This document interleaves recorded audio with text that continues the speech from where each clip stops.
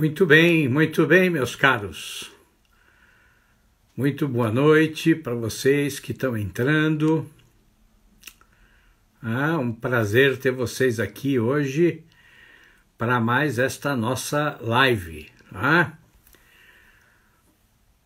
Bom, mas olha, hoje deixa eu já avisar quem está entrando que assim, nós vamos, eu vou congelar aqui os, os comentários, tá? Porque ontem, ontem aconteceu uma coisa muito desagradável. Entrou aqui um rapaz e assim, ele simplesmente transformou a live aí numa, numa grande confusão, viu?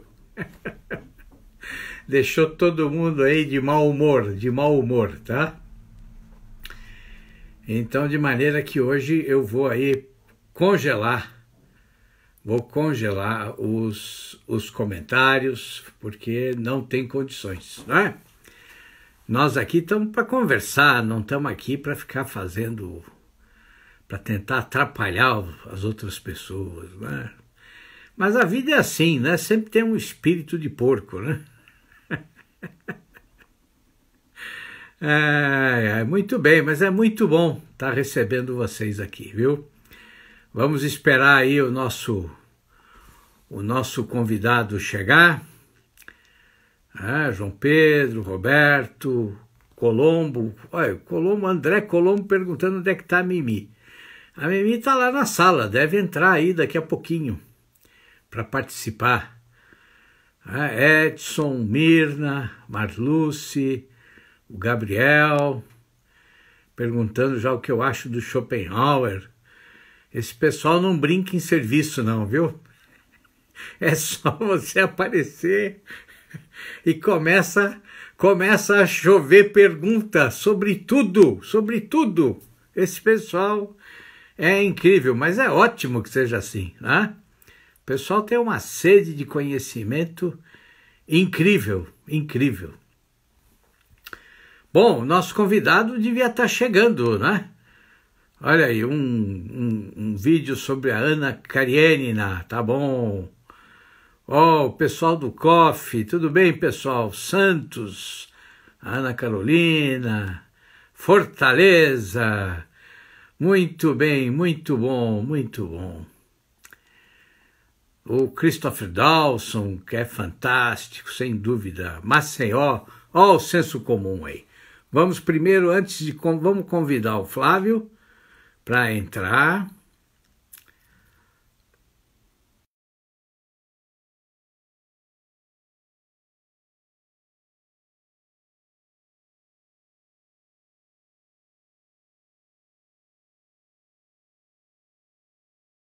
Que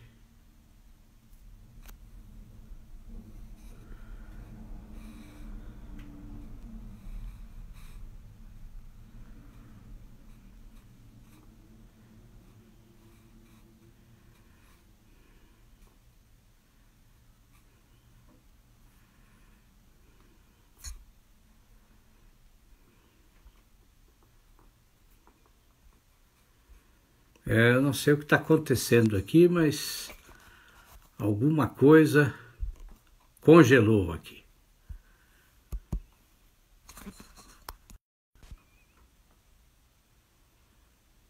Ah, agora sim, agora sim. Muito bem. Muito bem. Vamos ver se ele aceita aí o nosso convite. Muito bom, seu Gurgel. Tudo bem? Como é que vai o senhor? Deu tudo certo aqui? Tudo certo. Ah, eu acho que sim, sei lá. Muito se, bem. Se a conexão tiver funcionando. Se a conexão tiver funcionando. Olha, Sabe sua... qual é a melhor parte da. Ah. A, a sua conexão parece que está um pouco ruim. Você está. O seu vídeo, o seu áudio estão entrecortados. Sério, é, sei lá. É, tá, tá, Não, mas agora, agora, agora eu acho que normalizou. Agora eu acho que normalizou. Ah, espero que sim. Muito tudo bem, em, muito tudo, bem. Tudo em ordem. O que eu gosto. quando eu sou convidado, é que aí se a, se a live não dá certo, as pessoas te xingam ao invés de me xingar. tá ótimo, tá é ótimo. É melhor assim. Muito bem. É Olha, melhor assim. Eu sei que muita gente que está aqui conosco hoje já conhece o Flávio Morgenstern há muito tempo, não é? Porque o Flávio é uma, é uma figura aí pública importantíssima para os debates culturais e políticos uh, do nosso país. Mas, assim, nós vamos, uh, aqui no, né, né, nessas lives, a gente segue um determinado padrão aí de, de perguntas, exatamente pensando naquelas pessoas que não conhecem o convidado. Né? Então, Flávio, assim, para a gente começar, é, se apresenta, diga que, quem é você, o que, que você faz, é, fala um pouco do seu livro, fala um pouco do senso em comum, né? fala um pouco das suas atividades atuais, dá um panorama geral para quem não conhece o Flávio Morgenstern.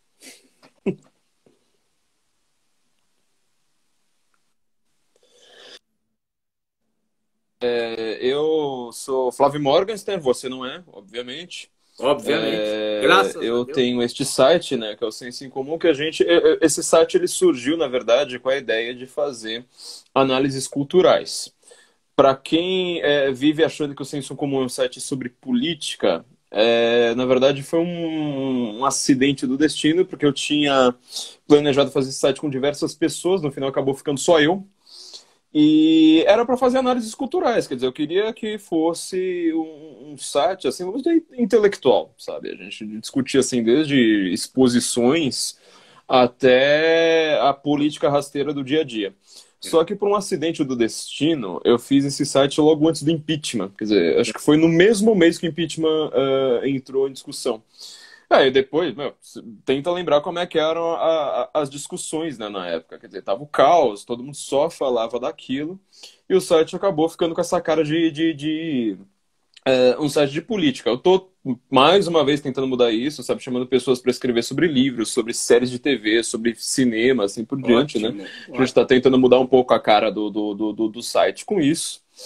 Uh, eu fiz um livro né, em 2015, uh, é, Por Trás da Máscara, do, do Passe Livre aos, aos Black Blocs, as manifestações de rua que tomaram conta do Brasil, que foi sobre as manifestações, na verdade, de 2013. Quer dizer, uh, o livro acabou saindo quando as manifestações meio que trocaram de sinal né, na, na, na, nas ruas.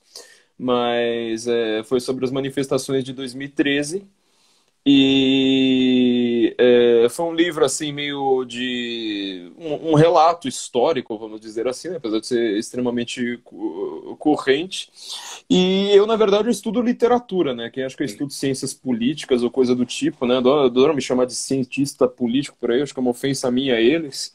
Eu estudo literatura, na verdade. Okay. Uh, eu demorei mil anos na faculdade porque eu fazia todas as optativas possíveis. Na minha área é alemão, na verdade. Sim. Só que eu fui fazer o latim inteiro primeiro, depois eu fui fazer o grego inteiro primeiro. Aí depois que eu fui pensar em fazer o alemão, que era a, minha matrícula oficial, né? Sim. Então a minha, a minha área, de fato, que eu estudo, que eu mais gosto de estudar, de estudar na vida, é essa área de literatura e, assim, sobretudo latim, grego e, e, e, e alemão é entrecortada com filosofia, com história, quer dizer, você não consegue estudar essas, essas, essa literatura sozinha, né?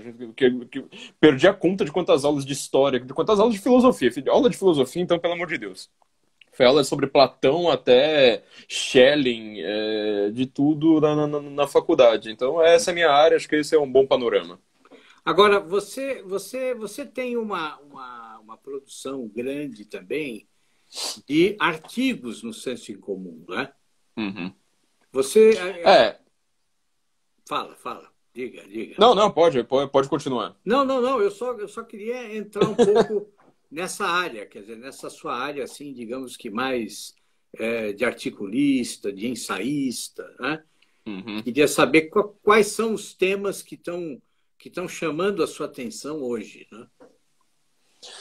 Então, o senso em comum aqui já é, é, é interessante falar para quem gosta de literatura, para quem gosta de escrever, na, na, na, na, verdade, Uh, o senso comum eu encaro ele como um trabalho, mas assim, mais do que um trabalho, é uma vocação, né? uma missão que a gente tem de uh, trazer um pouco do, de, de, um, de, um, debate diferente, ou seja, com referências ao menos diferentes daquelas referências de sempre que a gente tem Sim. por aí. Então, é, não é só aquele debate do tipo, ah, Bolsonaro é ruim porque ele não gosta de gay, Uh, da mesma forma, eu também não gosto de desse oba-oba, assim, sabe? De, de, você fazer torcida, eu gosto de fazer análise mesmo. Eu sou uma Sim. pessoa que, sabe? Eu não defendo uh, uma política X por, porque eu gosto do político X. Não, eu, defendo, eu gosto de demonstrar minha argumentação e concluir. E aí eu gosto de ser claro, falar assim, olha, eu prefiro esta política, aquela política, eu prefiro essa pessoa, aquela pessoa, eu prefiro. Uh... eu gosto dessa sinceridade, entendeu? Eu não, eu não acredito em parcialidade.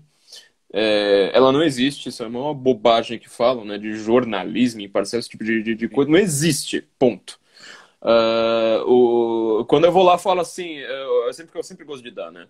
Quando eu falo assim, olha, a prefeitura não sabe se ela vai plantar orquídeas ou rosas, é, dá a impressão que é uma notícia imparcial. Mas se ela foi escrita em Berlim em 1945? Você entendeu? Até uma notícia dessa, a escolha do tema que você faz já, já revela claro. uma parcialidade sua. Sem dúvida. Uh, então eu gosto de, de gosto de escrever artigos bem provocativos mesmo, né? Tem uma expressão em inglês que eu acho muito difícil de traduzir, mas é thought provoking, né? Quer dizer, que provoquem pensamentos. Ótimo. Mesmo que, que seja para você me xingar nos, no, no, nos comentários, eu gosto de, dessa provocação de pensamento, de te tirar um pouco da sua zona de conforto. Sim.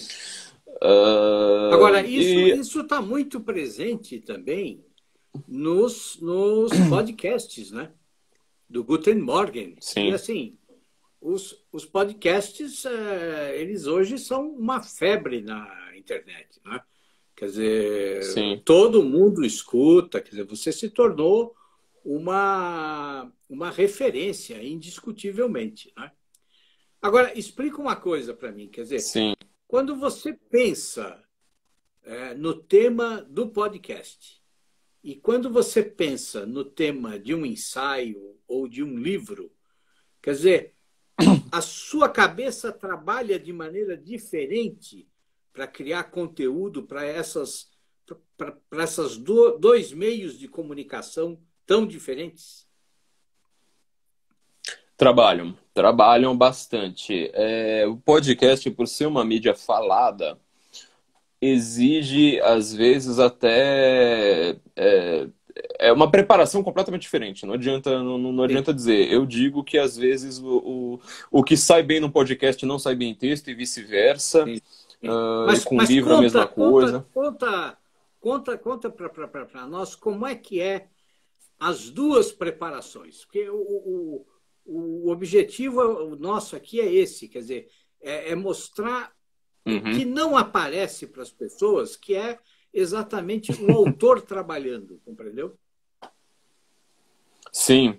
Uh, quanto ao, aos artigos, é, e aqui eu gostaria de dar, dar uma dica, na verdade, para muita gente que quer escrever para a internet. As pessoas acham que escrever para a internet é a mesma coisa que escrever para o papel. Em primeiro lugar, não é. A coisa uhum. que eu tô, uhum. mais estou acostumado é receber artigo de pessoas assim. Toda hora aparece um e-mail de alguém falando: quero escrever para o senso. Advogado adora fazer isso. Quero escrever para o senso em comum. Eu falo: pô, mas que legal, coisa que a gente mais quer a gente escrevendo. Eu gostaria de ter um, ter um artigo a cada cinco minutos, sabe? Que não desse tempo para uma vida humana. Então, igual a Folha de São Paulo, igual um grande jornal. Eu gostaria. Eu realmente gostaria. Só que aí não é uma questão de controle de qualidade, não é que as pessoas escrevem mal, é que elas não sabem escrever para a internet. Eu já prometi que eu vou fazer um curso a respeito disso. Ótimo. Mas, é, bom, tinha alguns cursos anteriores na frente, né? Como esse que a gente colocou no ar agora sobre a Primeira Guerra Mundial, então tinha promessas que eu tinha, que eu tinha feito. É, para escrever para a internet, eu geralmente subdivido em algumas categorias. Por exemplo, uh, sai uma notícia uh, a respeito de um. Muito interessante, uma notícia que você lê, você fala assim, nossa, isso aqui é extremamente interessante. Só que ela sai na mídia quase oculta. Sim. Ninguém presta atenção naquilo e ninguém presta atenção de fato no que, que aquilo ali significa. Então, geralmente, muito do nosso trabalho também é reescrever algumas notícias que ficaram ali na, no, no, cantinho do jornal e falar assim: olha, presta atenção nisso aqui, sabe? É, às vezes as pessoas tratam notícia como uma piada, sabe? É... Vou te dar um exemplo muito simples disso aqui. Coreia do Norte. Saiu alguma notícia sobre a Coreia do Norte. A primeira reação de todo mundo é tratar aquilo ali como uma piada. Sim. Entendeu? É, eu, eu não nego, eu também tenho essa. Eu sou humano, eu tenho essa mesma claro. reação inicial. Claro, claro. Agora, a Coreia do Norte não é uma piada. A Coreia do Norte é um negócio que existe. Sim. Entendeu? A Coreia do Norte é um negócio que tá matando lá hoje. Aí eu fico sempre pensando, tá, mas e se o nazismo tivesse. Se tivesse o terceiro Reich lá na Alemanha agora, a gente estivesse tratando as notícias que saem sobre o Hitler, tudo com, com piadinha, entendeu? Ah, que ridículo, não sei mais o quê. Enquanto isso, tem 6 milhões de pessoas lá morrendo de verdade. Claro. Entendeu? Uh, então, boa parte do nosso trabalho é traduzir isso e colocar o sentimento adequado àquilo. Né? O C.S. Lewis ele fala né, da herta uh, uh, do, do, dos hindus, que ele fala assim: você precisa ter um sentimento adequado. Na hora que você vê uma cachoeira bonita, esplêndida, você precisa ter um sentimento adequado àquilo. Na hora que você vê um assassinato, você precisa ter um sentimento adequado àquilo. Uh, então, é, esse é um tipo de notícia. Um outro tipo de, de, de, notícia não, né? Porque a gente não faz notícia. Eu não considero que eu faça muita notícia. Às vezes uma pessoa ou outra manda, manda alguma coisa pra gente, mas não considero que eu, faça muito, que eu faça muito isso. Um outro tipo de texto é um tipo de texto que é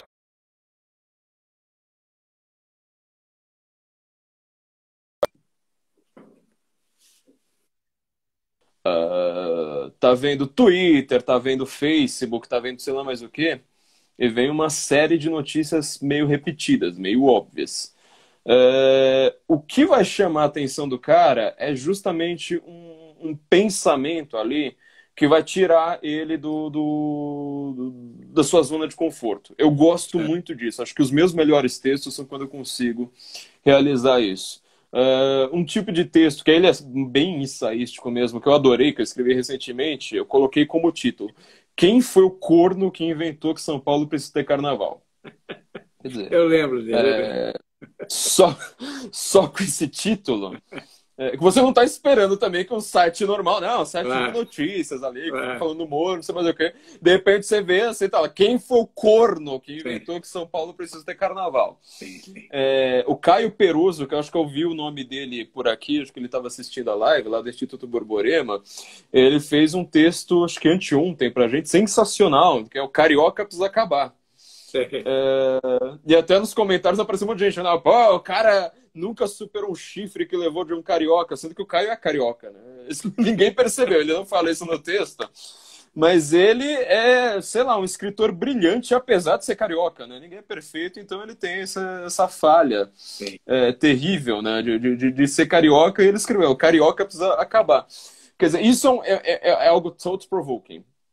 Você não consegue ficar incólume. Você vê aquele texto, você fala: peraí, eu preciso ler se eu ler gostando ou não, eu vou comentar, sabe? Eu vou, sabe, sair com uma sensação uh, daquilo assim por diante. E eu, uh, às vezes a gente faz isso não é só no nível ensaístico, eu já fiz um nível até de análise uh, intelectual mais séria. Por exemplo, um dos textos que eu mais gostei que eu, que eu coloquei no Senso em Comum, já faz anos isso, muitos anos.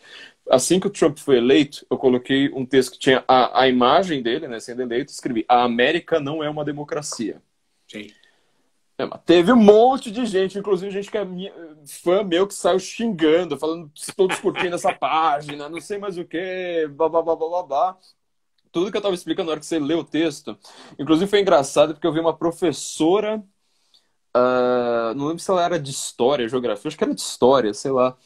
Completamente. Assim, ela não, não concorda comigo em nada. Não concorda comigo em nada.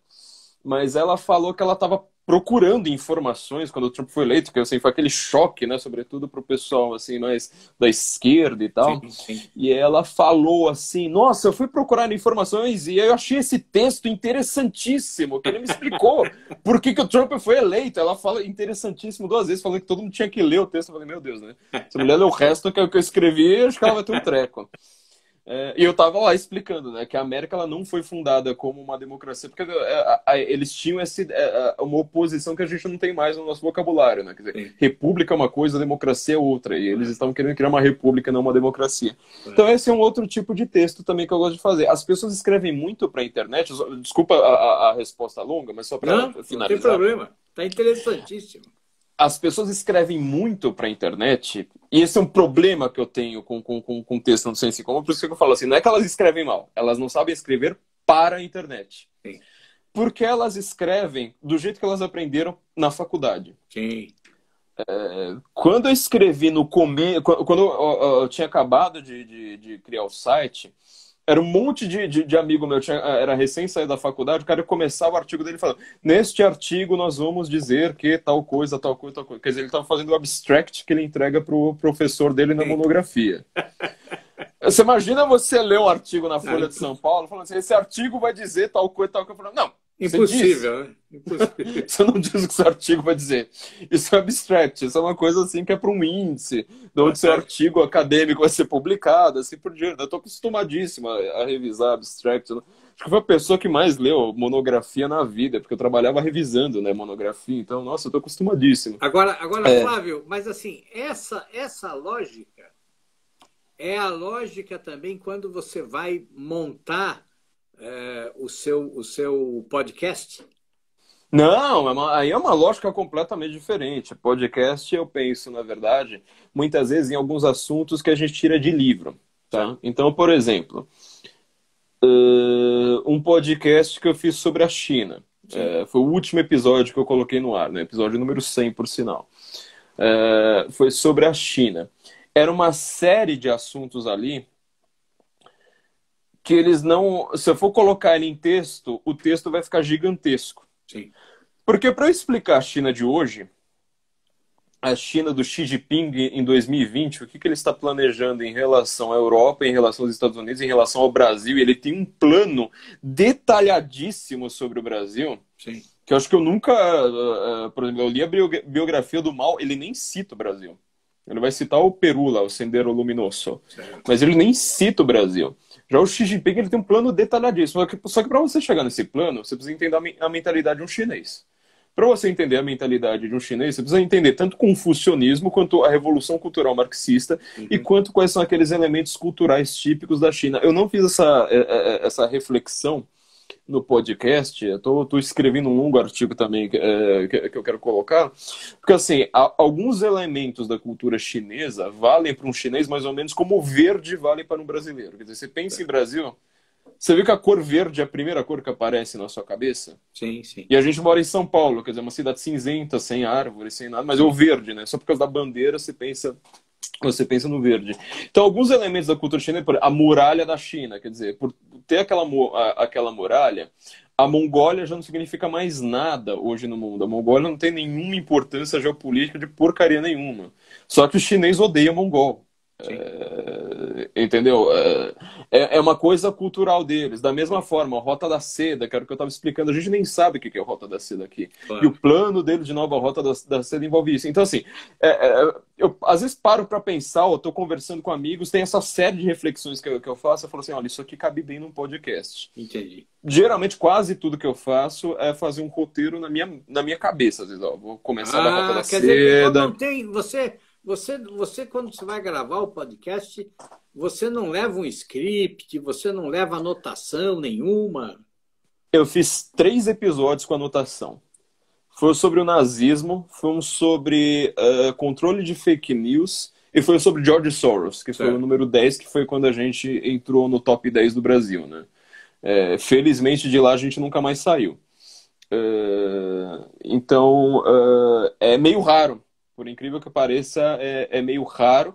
O que eu faço, assim, são algumas anotações, geralmente assim, sei lá, se eu preciso citar um livro, eu vou lá, já deixo anotado o parágrafo que eu vou certo. citar. É, já teve alguns podcasts que eu fiz desse jeito, né? Quer dizer, eu levei quatro, cinco livros, mas assim, só para abrir, ler sim, um trechinho sim. rápido, fecha e acaba. Mas o mais interessante é você causar realmente uma impressão legal. Sim uh, no ouvinte. Quer dizer, eu gosto de, de, O podcast, ao contrário do texto, ele precisa ser um pouco emocionante. Claro, Ele precisa ter um pouco claro. de adrenalina, senão o cara cai no sono. Se as pessoas Sim. caem no sono, às vezes, com, com, descrevendo guerra, você imagina claro. como é que seria com, com, com um assunto mais chato. Agora, então, o, que é, pode... o, que é, o que é interessante é que você, nos podcasts, você consegue conciliar as duas coisas. Né? Você uhum. consegue ter essa essa, essa irreverência, digamos, né, que é uma característica sua, tanto nos textos como nos podcasts, mas você mantém um alto nível de conteúdo, de informação. Né? Agora, fazer isso sem nenhuma anotação, assim, eu acho isso impressionante. Eu acho impressionante. Né? Ah, é... É, eu, eu, acho, eu acho realmente fascinante. É, e, assim, é, e acho que todo mundo deve realmente admirar isso, quer dizer, porque não é algo simples de se fazer. Não é algo simples. Eu não recomendo para ninguém, né? Sim. eu não recomendo para ninguém. Eu acho bem difícil, na verdade. É que assim, eu tenho uma memória muito boa para assuntos que eu, sei lá, geralmente quando, quando o tema entra no podcast, significa que eu pensei a semana inteira obsessivamente Uh, tô lavando a louça, tô varrendo a casa, eu tô pensando nessa porcaria, tô lembrando do que eu já li a respeito, assim por diante. Então, eu sou meio obsessivo com isso. Assim. Isso, é um, isso é um fato da minha vida e eu tenho uma boa memória. Sim. E eu sou muito organizador de pensamento. Então, quer dizer, na hora que eu tô pensando, eu já falo assim: olha, isso aqui vai cair bem num texto, essa, esse outro pensamento vai cair bem num post de Facebook, esse outro, te, esse, esse outro pensamento ele vai cair bem num, num podcast. Então, eu já vou esquematizando. Eu já ensaiei o podcast na prática, pelo menos uh, o, o, esquema dele, a estrutura Sim. dele, o esqueleto dele, a semana inteira. Isso aí não tem a menor dúvida. Eu Agora, ensaiei você, a semana inteira. Você, você segue alguma técnica especial que você aprendeu, que você estudou, ou isso é natural em você? Para o podcast é natural. Eu uso algumas técnicas mnemônicas uh, eh, para aprender algumas outras coisas. Por exemplo, eu não consigo aprender, meu cérebro ele chegou no limite, eu não consigo mais aprender nenhuma palavra em nenhuma língua se eu não usar uma técnica mnemônica. É, sabe aquela coisa de você, sei lá, você, quando eu era adolescente, sim, né? Eu, ficava, eu, eu, andava com dicionário na mochila, né? Porque eu gostava, de, eu gosto de palavras, né? não adianta. Eu sou sim, uma pessoa sim. que gosta, sou palavrosa, eu gosto de palavras. É... Eu simplesmente ficava lendo, repetindo e acabou. Hoje meu cérebro assim, ele está no limite, assim, parece que o HD está cheio. Então, para aprender pra, palavras, eu tenho algumas técnicas mnemônicas. Agora, o que, que eu faço especificamente para o podcast, é... que não é a mesma coisa que eu faço para os artigos, é que eu penso no, no que é que vai ser interessante, o que é que causa uma impressão. Então já tem algumas marcas registradas, né? Então tem, é, é, foi meio natural, acidental, na verdade, que foi acontecendo, uh, da gente sempre no podcast acabar falando de Grécia Antiga e Antigo é. Testamento, né? Uhum. Que foi meio engraçado, porque na verdade nas últimas vezes foram todas do Novo Testamento, mas eu falava tanto de Antigo Testamento que as pessoas marcam ainda, né? Tipo, ah, vai ter Antigo Testamento hoje, né? Mesmo, mesmo quando é o Novo. Parece uma homilia, né? Inclusive, a diferença, a diferença é que eu vou para a Grécia também, né? É... Então, uh... e, bom, eu falei, né? Eu estudo latim, estudo grego, estudei alemão, então quer dizer, é, é... são referências que eu tenho para mim, assim, sabe? É, Quase tudo é. que eu vejo eu falo assim, não, tem uma referência lá atrás, tipo, você Sim. vai ver, o Platão já falou de, de, dessa porcaria antes, é difícil você encontrar algum assunto uh, no qual, o qual isso não, não, no qual isso não aconteça. É, então tem algumas marcas, por exemplo, ah, essa piadinha aqui vai ser boa. É, uhum. Por exemplo, quando eu, eu, lembro que eu estava explicando Rota da Seda é, para um amigo antes do podcast, antes de gravar o podcast, e ele falou, não, mas desde quando isso existe, né? Tipo, ele perguntou, mas desde quando existe o Rota da Seda? Eu falei, então, tem 5 mil anos a seda, pelo menos, 6 mil anos e tal. Aí eu pensei na piada na hora. É, que é, é, essa eu acho que ela, que ela foi pro podcast. Assim, então, quando você comprava uma bolsa Louis Vuitton uh, na Europa, nos anos 800, você pegava a etiqueta já estava escrito Made in China. é, então eu falei, ó, eu já tenho que fazer mais um link aqui, etc, etc, né? Então, é, bom, às vezes eu faço bom. por esses links. Sim, sim. Esse link, na verdade, ele é a minha técnica mnemônica, né? Porque eu tô preocupado assim, tipo, ah, vou, eu vou falando até a hora que eu vou chegar naquele link. Daquele link eu vou para outro lugar. Então é como se fosse assim, é um checkpoint. Cheguei no checkpoint e tal. E vou pro próximo. Para texto isso não funciona. Para texto é uma coisa completamente diferente que eu faço. Agora, agora Flávio, é, conta para nós, quer dizer, como é que é, você se aproximou da vida intelectual? Quer dizer, como, como, como é que nasce o interesse na sua vida pela leitura, pelos estudos? Quer dizer, como é que você foi se aproximando disso?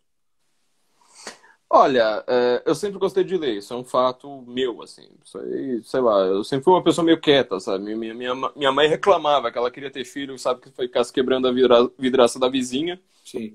Eu ficava lendo e jogando videogame, sabe? Eu sempre fui uma pessoa muito, muito quieta. E é quando meu irmão nasceu também, né? Acho que é, se lascou um pouco, né? Pagou com a língua, isso aí. É, apesar de que meu irmão também não é, não, não, não é nada briguento, mas enfim. E eu sempre gostei de ler. É, eu lembro que assim, uma das primeiras coisas que eu pensei que eu iria. Coisa típica de criança, olha só. Eu achava que eu iria trabalhar com dinossauros, sabe? Eu adorava ficar Sim. lendo sobre dinossauros, aquela coisa. Eu falava, nossa, algum dia eu vou trabalhar com dinossauros, assim, ficar igual o Ross do Friends. E sempre gostei muito de ciência, inclusive eu era muito bom em exatas. Olha que coisa bizarra, né? Hoje eu não sei calcular meu troco. Eu era muito bom em exatas. Hoje eu não sei calcular meu troco, mas eu era bom assim. Quando comecei, eu comecei, eu comecei a ter aula de física, nossa, eu dava aula para o meu professor. Hoje, quer dizer, eu, eu sei os conceitos, eu entendo muito bem dos conceitos. Agora, na hora de fazer conta, assim, qualquer coisa que envolva número, eh, trabalhando um com o outro, eu me lasco sempre. É... E eu sempre gostei muito de ler. Só que uh, essa leitura ela não é organizada. A grande questão para as pessoas é que assim, tu, eu conheço um monte de gente que adora ler, sabe? Que fica lendo Sim. o dia inteiro. Uh, mas uh, não é uma leitura organizada. isso eu só fui começar a organizar, acho que na segunda ou terceira vez que eu já tinha entrado na faculdade. Ah. É que é você organizar os pensamentos mesmo, formar é. conceito, entendeu? Essa é uma, essa é uma das grandes questões do Guten Morgen. Eu sempre, eu sempre quero falar. Do Guten Morgen, dos meus textos, acho que da minha vida, essa formação de conceito. Quer dizer, quando você usa a palavra democracia, o que é que você está querendo dizer? Quando você usa Sim. a palavra, sei lá, ciência, o que é que você está querendo dizer? Essa formação de conceitos, para mim, ela é extremamente importante. É, ainda mais depois das aulas de grego, né? Que basicamente é você formar conceitos. Uh, então, essa organização, uh, eu vou dizer que assim, com todo arcabouço de coisa que eu, que eu tinha estudado na minha vida, é, ela é bem recente, ela é muito mais recente. Eu, inclusive, eu acho que, eu, que eu, eu fiz muito tardiamente algumas coisas importantes da vida, né? É, eu acho que eu fiz mesmo muito, muito tardiamente, que é começar a organizar melhor os escritos, sabe? Eu tinha anotação de, sei lá, de adolescência, sabe? De escrever poesia e tal. É, eu acho que se eu tivesse organizado aquilo ali melhor, eu poderia ter uma produção hoje muito mais relevante.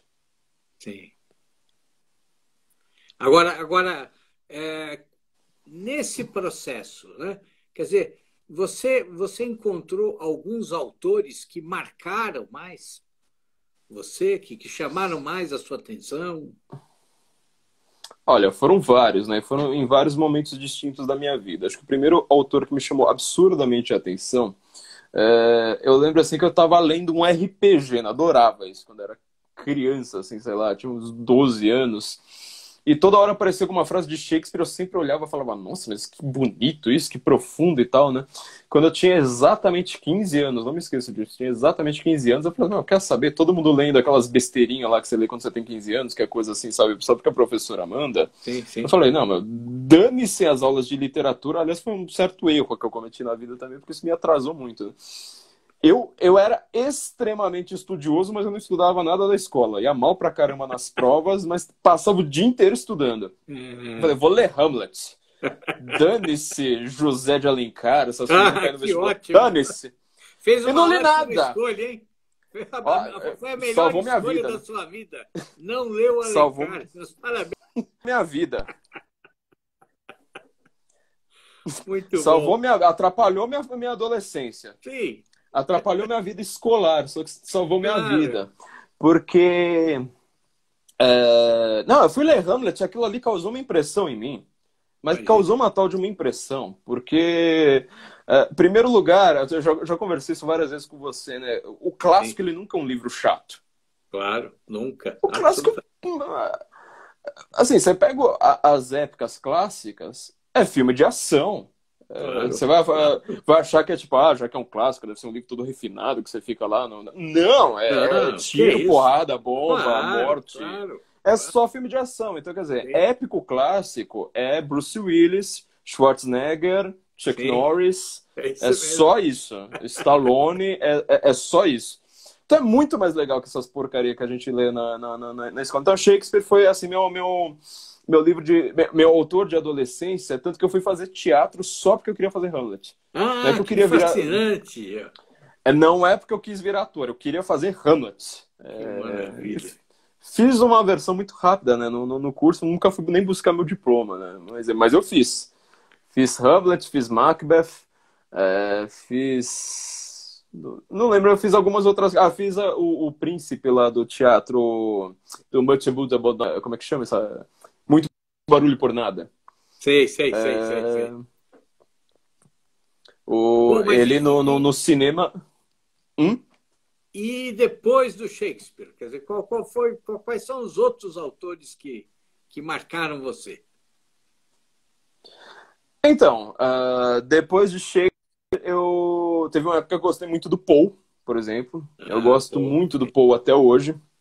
Sim. Uh, é um dos grandes autores da minha vida, apesar de que eu acho que ele, assim, ele como poeta, ele conseguiu transitar por extremos, né? Quer dizer, ele fez a melhor poesia do mundo, que é The Raven, Sim. Eu acho a melhor poesia do mundo. Até hoje eu leio aquele negócio falando, meu Deus do céu, que poesia maravilhosa. Até hoje eu tenho, acho que uns três livros aqui só sobre essa poesia.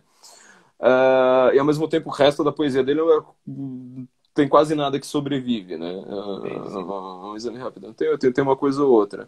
Uh, eu gostava muito dos românticos, né? Tipo, sobretudo dos românticos ingleses. Foi meio engraçado Sim. ter estudado o romantismo alemão. Sim. Aliás, aliás, do... aliás é, eu, eu me lembro, há alguns anos, é, de, uma, de uma conversa que nós tivemos, em que você fez para mim uma longa análise do, do poema é, O Velho Rhyme of the Mariner. É. Você podia Rhyme falar um pouquinho desse, desse poema, porque aquela noite foi memorável, pô. Você fez uma memorável. linda do poema.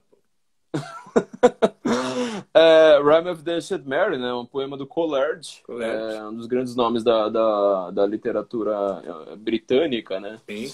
E é, tem quem odeie esse poema, acho meio uma coisa meio esquisita. Acho que eu não tenho ele fácil aqui, acho que ele deve estar tá, tá, tá longe aqui de mim uh, agora.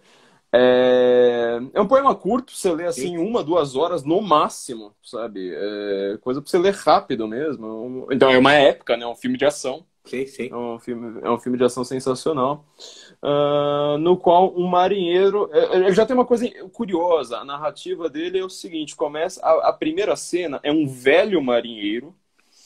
Uh, na frente de um casamento, quer dizer, a noiva tá lá casando, tá todo mundo interessado na noiva, e ele parece ser aquele mendigo doido, sabe? Tá lá parando as pessoas e falando: Eu preciso te contar uma história. Todo mundo falando: eu tô apressado pro casamento, não me enche o saco.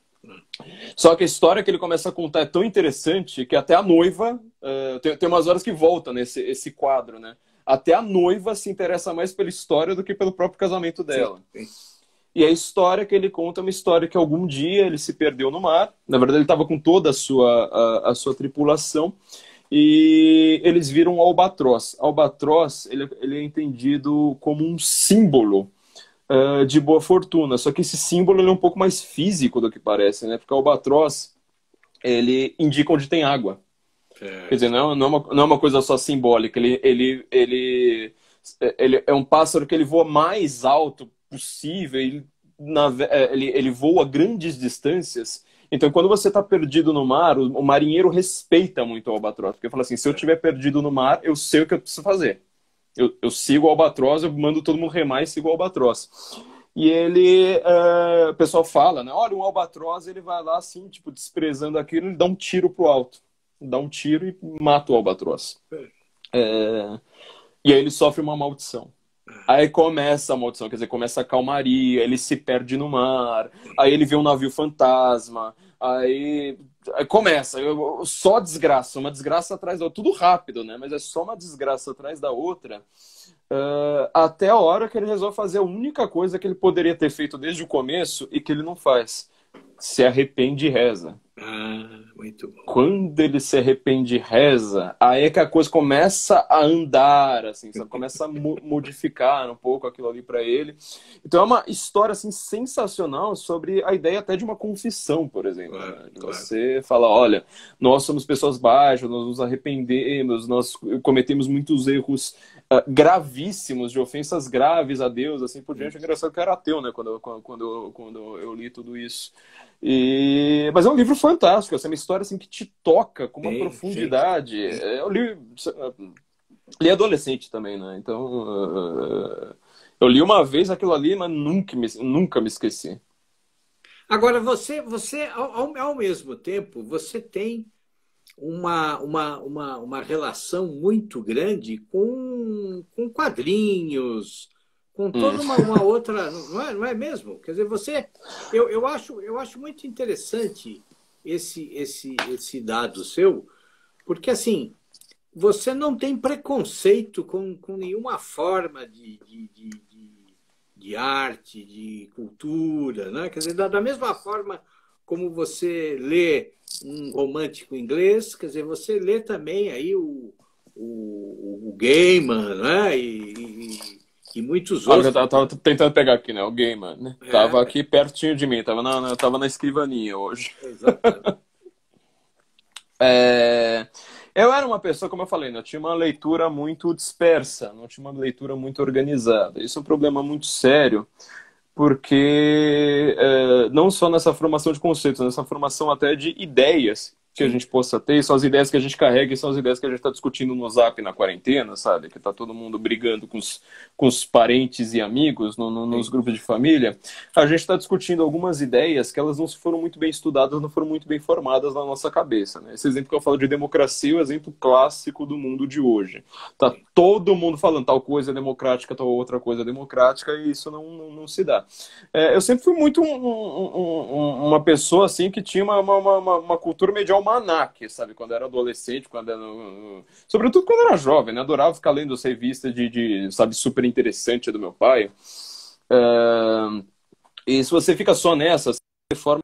O que eu gosto muito é o seguinte: a gente tem umas formas de narrativa no mundo de hoje, uh... algumas formas de você contar uma história que são muito. tem, tem algumas vantagens é, muito grandes.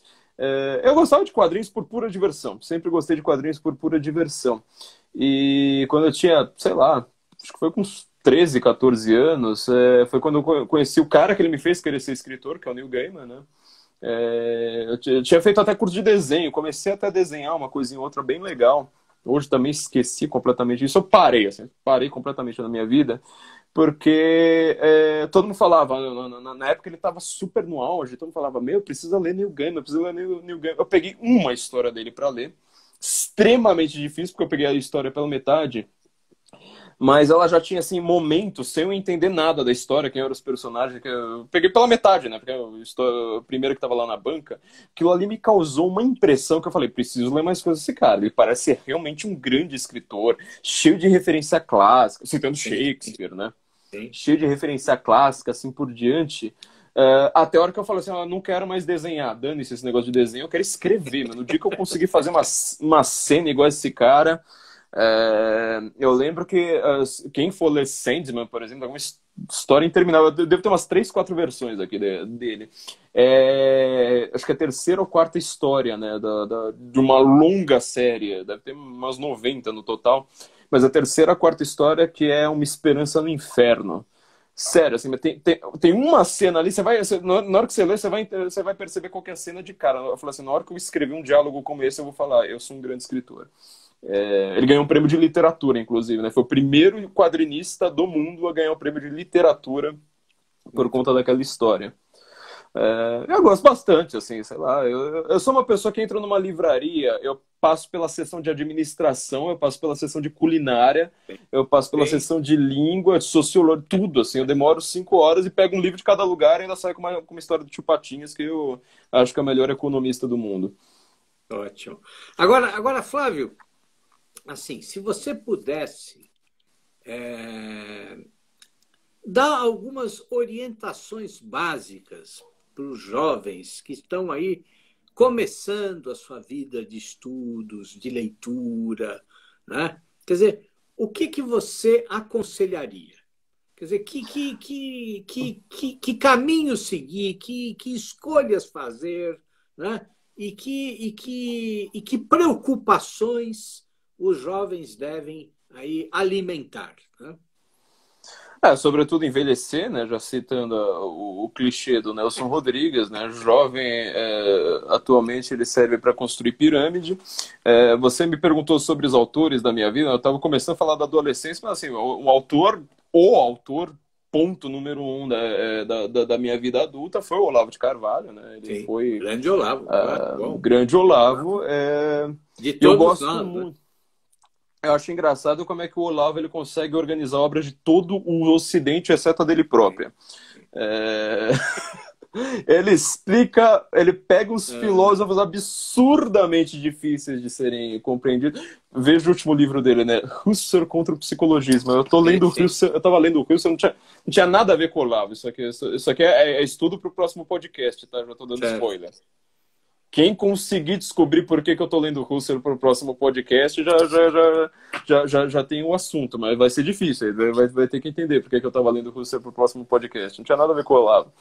É... E ele consegue explicar um, um, autor que você demora 10 horas para virar de página Sim. com uma facilidade, assim, com uma obviedade. Você fala, pô, mas como é que ninguém percebeu isso antes? ele tem uma. Então, o Olavo ele é muito bom para os jovens por, por conta disso. É, eu recomendo que vocês tome muito cuidado ao ler notícia, tá? Esse negócio de ficar lendo, sabe, notícia política o dia inteiro no zap. Nossa, pelo amor de Deus. Acontece o seguinte, jovem, entenda uma coisa, só que vale para os velhos também, porque eu vejo que as pessoas chegam aos 70 anos sem perceber uma coisa como essa. Qualquer jornalista, ao escrever uma notícia, baseada em fatos reais ou não, e aí eu não estou falando se, se, o negócio é fake, porque às vezes é, é coisa verdadeira. Mas o jornalista ele escolhe muito bem as palavras, às vezes melhor do que um poeta, para te causar uma impressão. E essa impressão ele quer te causar para você concordar com uma ideia que ele não expôs claramente no texto.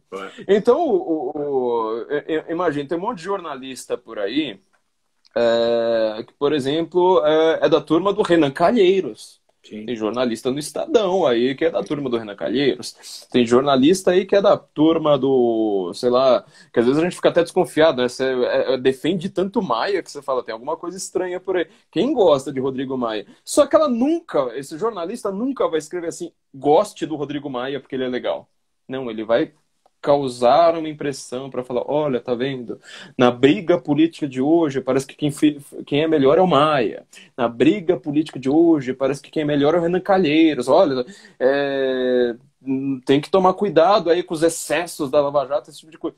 Sempre que você ouvir esse tipo de expressão, que você não conseguir definir perfeitamente quem que é o autor, qual que é a lei, quem que é o objeto, é, pode ter certeza, é, é pilantragem é pilantragem, alguém tentando te passar a perna.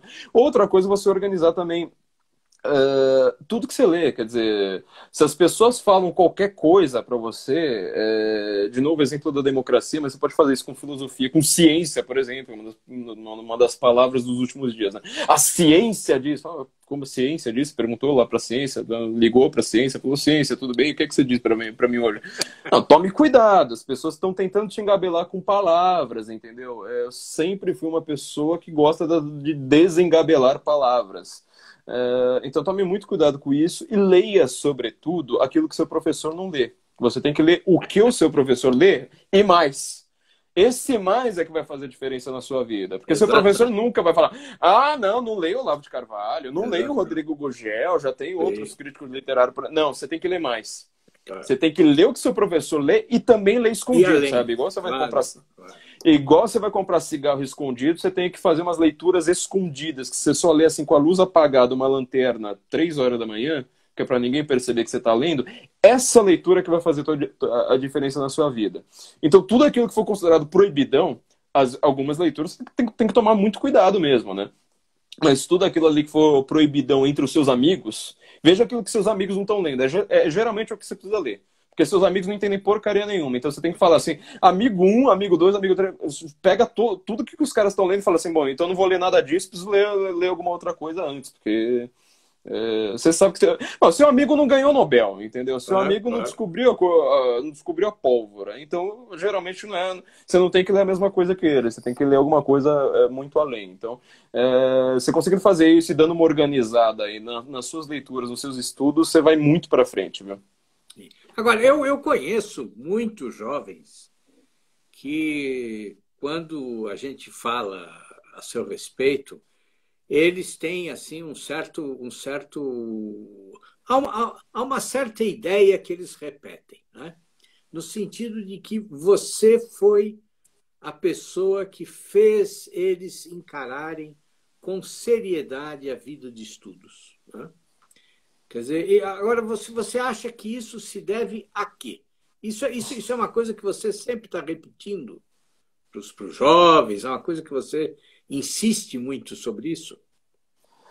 É, em primeiro lugar, muito me agrada saber disso, porque assim, eu estou salvando jovens e fazer isso é uma das coisas mais difíceis do mundo. Espero que perca uma semana de purgatório aí por conta disso, né? Agora, é, o que é. Eu vou falar primeiro o que eu acho a respeito de estudo, né? É, eu sempre encarei a ideia de estudo como um dever.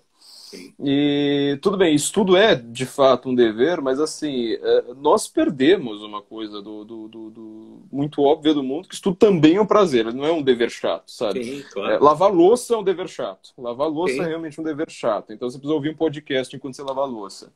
Agora, uh, o estudar em si, uh, obviamente, quando você está estudando só uma coisa que o seu professor está tá, tá enchendo seu saco ali, e que você acha que não vai ter aplicação prática, e tome muito cuidado com esse, com esse tipo de, de, bobagem, porque eu me ferrei muito na minha adolescência por causa disso. Sim. Ah, isso aí nunca vou usar para nada. Ó, você está treinando seu cérebro. Claro, Primeira coisa, sabe? Logaritmo, você está treinando seu cérebro. Raciocínio sim, lógico. Sim. Então, você não, vai, você não vai nunca usar, só que é bom que você saiba. Entendeu? Claro. É bom que você entenda tipo, o que é uma escala logarítmica na hora de você entender da escala Richter.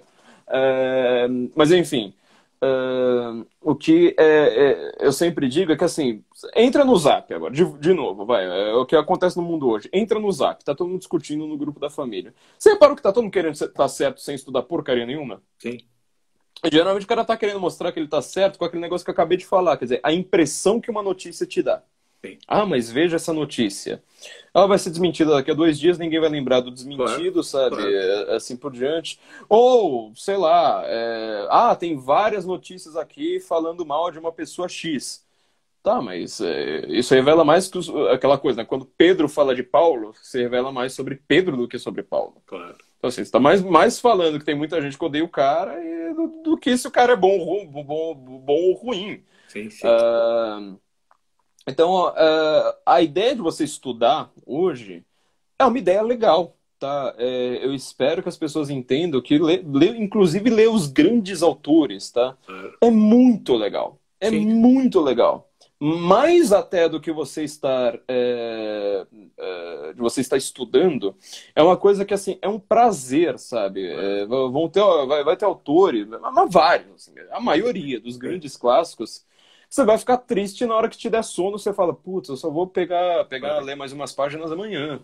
É... Então, assim, eu, eu lembro quando eu ouvia falar de Platão, Aristóteles, essas coisas quando eu era adolescente, eu falava, puta coisa chata do inferno, quem vai, vai, vai, ler uma coisa como essa?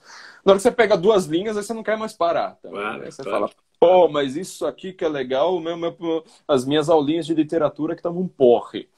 É, então, estudar é uma coisa legal saber é uma coisa legal. É, e assim, é, é, eu já falei isso várias vezes, falei assim quando meus irmãos estavam uh, prestando vestibular, falei assim, olha, estudar vicia, saber vicia. É Imagina você você não saber de algo, sabe? A, sensação que te dá ao saber de algo. Nossa, claro. é, e às vezes é saber assim, sabe? Tipo, saber de fofoca da vizinha ou saber, é, sei lá, passando vestibular, entendeu? Claro. É uma, uma sensação, ativa a mesma coisa lá no cérebro. Então, sim, assim, sim, sim. saber. Aprender é muito legal, sabe? Você saber fazer alguma coisa, ter, ter um conhecimento é uma coisa divertidíssima. Então, eu acho que por isso que, que é, quando a gente torna um pouco palatável né, é, essa coisa para os jovens, fala assim, jovem, vale a Platão. Claro. Você está com 15 anos, todos seus amigos aí estão pensando em, em pegar as menininhas da escola, em, sabe, ir pra balada e ouvir, sei lá, ou sertanejo universitário, ou emo, não sei o que, que, que jovem ouve hoje, é... larga isso aí, vale Platão. Você vai ver. Na hora que você chegar, daqui a cinco anos, na hora que você chegar aos 20, tipo, você vai andar, você, pode ter certeza, na hora que você chegar na faculdade, você vai fazer uma pergunta, na hora que você sair no, no, pro intervalo para tomar um café, vai todo mundo atrás de você, te garanto. Sem dúvida. Não é. tem a menor dúvida. É assim. Agora, Flávio, olha, nós, nós estamos aí nos cinco minutos finais. Oh. Infelizmente. Mas é. assim, eu queria que você falasse um pouquinho a respeito desse seu novo curso aí, que eu sei que é sobre a Primeira Grande Guerra. E não sei se o curso já começou. Não sei já se começou. Já começou? E, e, e já começou.